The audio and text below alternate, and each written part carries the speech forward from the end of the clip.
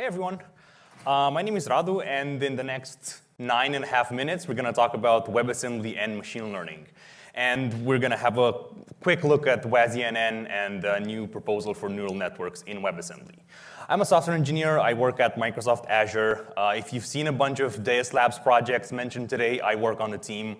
Uh, we also do a lot of work with the Bytecode Alliance and the CNCF. And TLDR, I'm interested in everything that has to do with WebAssembly, machine learning, distributed systems, and most often the combination of the, of the three.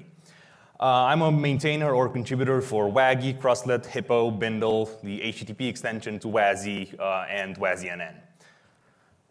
Uh, this talk and a lot of WASI-NN has been uh, contributed by Andrew Brown and Mingqiu Sun from Intel. So this is uh, shout out to Andrew, who's, uh, I think, on a sabbatical. Hope he's enjoying his time off. Uh, we're going to talk about a little bit about WebAssembly and WASI, and then machine learning in WebAssembly. Uh, I, I paid very close attention. No one actually mentioned that WebAssembly is neither web nor assembly today, and that is absolutely a given at any WebAssembly conference. So um, I think a lot of people talked about what WebAssembly is and what WebAssembly isn't. But in short, it's just a binary instruction format for a web for a stack-based virtual machine. But in short, it just lets us run cool stuff on the web that's not JavaScript only. But on top of WebAssembly, it's, WebAssembly has no mention necessarily of the web. You can run WebAssembly outside the browser pretty well, and that's where WASI comes in. It's a capability-oriented API and essentially is designed to standardize the execution of WebAssembly outside the browser. And what WebAssembly and WASI give us outside the web is a portable, lightweight, fast, and secure way of executing semi-trusted or untrusted code. And if you're just getting started or interested in getting in depth with uh, anything that has to do with WASI, you have to, to read the Lin Clark's code cartoons. They are probably the best resource for anyone getting into WebAssembly and WASI. Why would we want to run uh, machine learning in WASM? Well, mostly for the same reasons we want to run anything in, in, in WebAssembly. We want the portability that WebAssembly gives us. We want the flexibility to run the same WebAssembly module anywhere. And specifically for machine learning, we want to run the same machine learning model across different architectures. We also want to have language agnostic access to different machine learning runtimes. And more importantly, we don't want to keep re-implementing the same CPU instructions and machine learning operators. But there are a couple of problems that, makes, uh, that make running machine learning in WebAssembly today not ideal. Uh, first and most obvious is we don't have GPU access in WebAssembly runtimes. There's also no multi-threading or other hardware acceleration there are obvious missing, uh, missing uh, CPU instructions from WebAssembly that probably no one's going to add for each machine learning framework. And then in general, deploying machine learning in production, it's just difficult. So this is where uh, WASI-NN comes in, the, WebAssembly, the WASI neural network proposal. Uh, it's a way of allowing us to load a neural network model into a runtime and essentially run inferencing on that particular neural network model. Uh, it's framework and format agnostic, so if you have an implementation, you can run it for PyTorch, TensorFlow, or any other machine learning framework or model you want to run it for. It's much faster than running inferencing in pure WebAssembly, and it's really portable. Uh, we'll see a recording of the same machine learning model and neural network and runtime on across Raspberry Pis and Intel CPUs and AMD and GPUs as well. Uh, the current implementations are for the OpenVINO model and the ONNX runtime.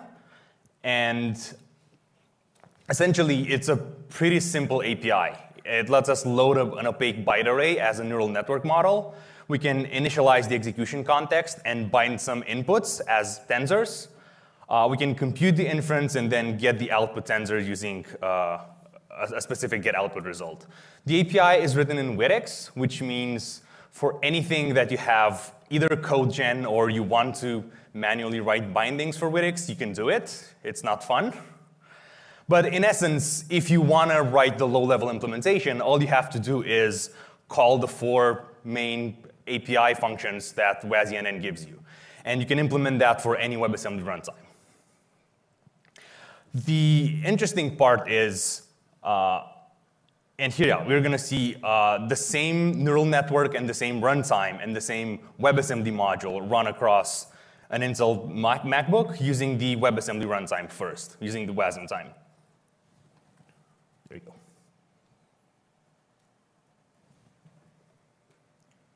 I hope that's visible.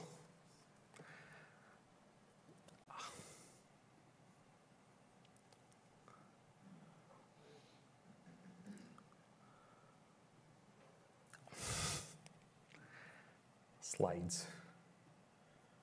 Okay, I'll just let it run. Essentially, it takes the same machine learning uh, model built with PyTorch that does image uh, inferencing, and now it runs it on a, on a Raspberry Pi.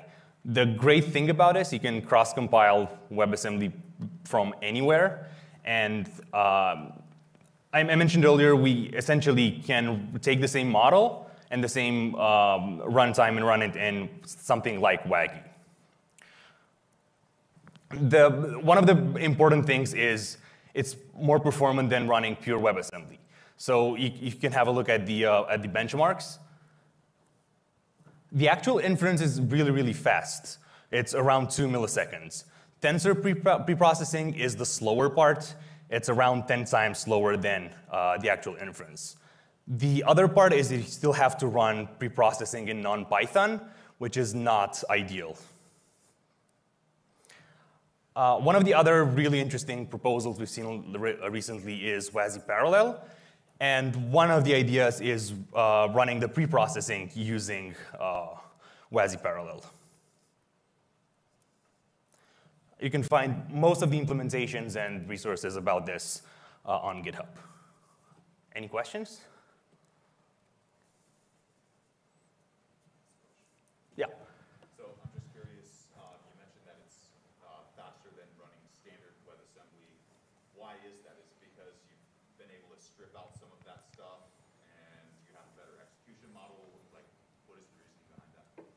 Go ahead and repeat the question. Uh, the, the, question is why it's faster than pure WebAssembly.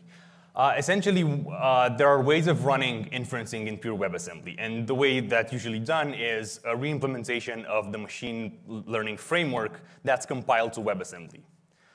WASI-NN, what it usually does is essentially you can offload the execution and the inference to the runtime, and the runtime has access to hardware acceleration, GPU, or anything like that.